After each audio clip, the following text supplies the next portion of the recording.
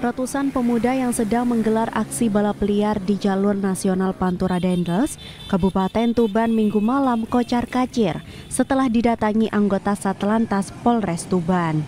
Mereka berusaha kabur dengan memacu gas motornya untuk menghindari petugas. Namun usaha sebagian besar remaja ini sia-sia karena petugas sudah memblokade jalan dari dua arah.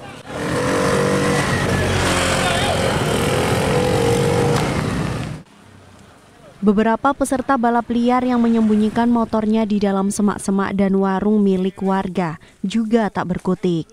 Petugas meminta mereka mengangkat sepeda motor yang terkunci tersebut ke jalan raya. Selanjutnya, mereka diperiksa dan didata satu persatu. Dalam penggerbekan ini sebanyak 103 sepeda motor diamankan petugas. Rata-rata kendaraan roda dua tersebut tidak sesuai spek dan menggunakan knalpot brong.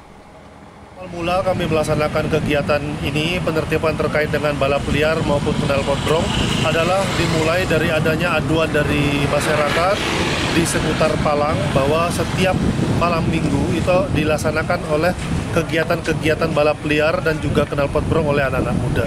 Sehingga pada hari ini kami melaksanakan kegiatan ini dan alhamdulillah kami dapat uh, menyita 103 kendaraan knalpot brong yang digunakan balap liar oleh anak-anak muda di sini. Seluruh barang bukti kemudian diamankan ke Polres Tuban, sementara pemilik kendaraan dipulangkan. Kasat Lantas Polres Tuban AKP KD Adityaya Saputra menegaskan, razia serupa akan terus dilaksanakan guna menciptakan keamanan dan ketertiban masyarakat. Ziki Muhammad, Husni Mubarak, JTV.